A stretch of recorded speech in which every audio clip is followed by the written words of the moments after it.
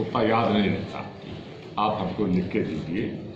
और लिखा पढ़ी में जो शिकायतें आएँगी और उसमें हकीकता जहाँ भी दिखाई देगी, उसको हर हालत में ठीक किया जाएगा प्रेम पूर्वक भी किया जाएगा, जहाँ शक्ति की आवश्यकता पड़ेगी, शक्ति के साथ भी किया जाएगा।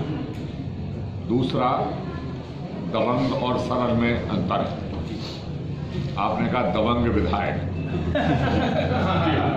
उसको संशोधन करके अगर आप ऐसे बोलेंगे कि सरल विधायक। सहज। सहज विधायक।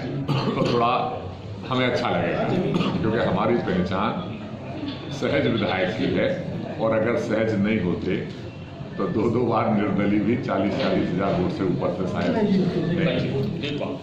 और लोकसभा चुनाव के पहले पहले ये कर्जा माफ़ी का वायदा नहीं रहेगा।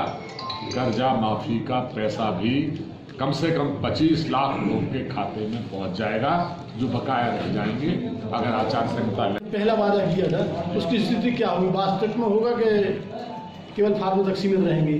आपको भी मालूम है दस दिन का वायदा किया था कि दस दिन के अंदर कर्जा माफ़ी की प्रक्रिया हम शुरू करें।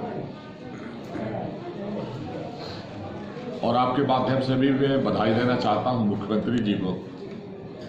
कि वल्लभ भवन में घुसने के 10 मिनट के अंदर अगर कोई पहली फ़ाइल पे सिग्नेचर किए हैं तो वो किसान के कर्ज माफ़ी के दस्तखत किए गए गड़बड़ी चल रही है।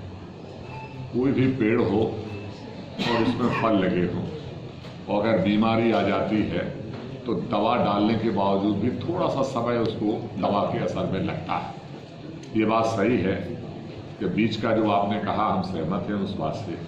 बीमारियाँ तो बहुत सारी लग चुकी हैं लेकिन उसको बीमारी का इलाज कैसे होना है तो उसको दवा डालने का काम हम करेंगे। और कई बार अगर ऐसा लगता है कि वो बीमारी इतनी ज़्यादा फैल गई है कि दूसरा पेड़ भी बीमार हो सकता है तो इस पेड़ को उखाड़ने का भी काम मंत्री जी मंत्री जी। ये हमसे बेहतर आप समझते हैं लेकिन हमारी जानकारी में आएगी तो हम तो कोशिश यही करेंगे कोई माफिया हमारे यहाँ ना और शराब पर छह परसेंट लगता है, पाँच परसेंट। तो क्या शराब पर आप टैक्स करेंगे क्या?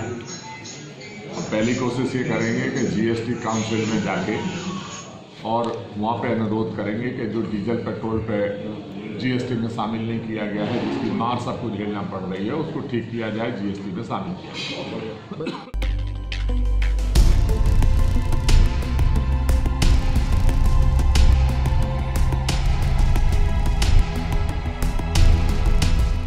देश को पहलो बुंदेली मीडिया प्लेटफॉर्म, बुंदेली बौछार ज़रूर सब्सक्राइब करें। सब्सक्राइब बटन दबाएँ, ई के बाद बेल आइकॉन दबाएँ और बुंदेली बोछार की पूरी जानकारी समाचार पाएँ।